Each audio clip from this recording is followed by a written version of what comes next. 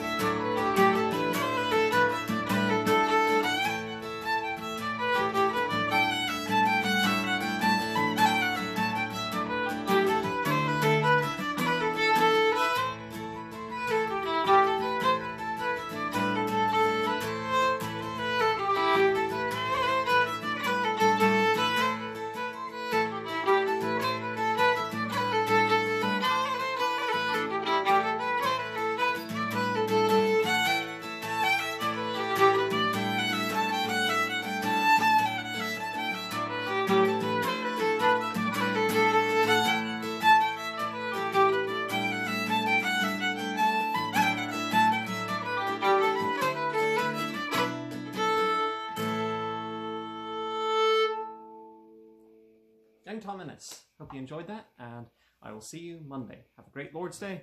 Take care.